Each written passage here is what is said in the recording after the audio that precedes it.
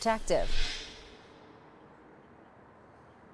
Since the start of the pandemic, medical experts have said any mask is better than no mask. And that's still the case to an extent. With the Omicron variant spreading rapidly, one doctor here at UNM Hospital recommends wearing thicker and more tightly fitted mask, masks for better protection.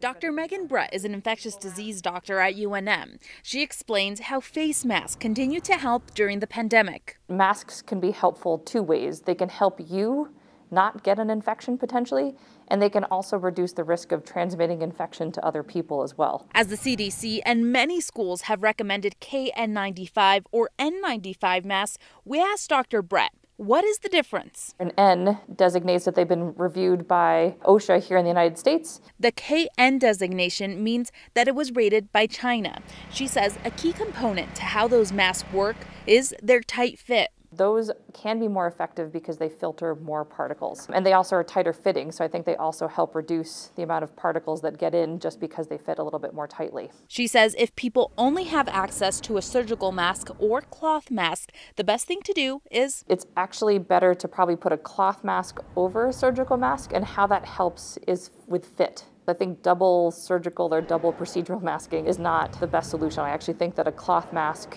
that kind of holds the, the procedural mask against your face is better.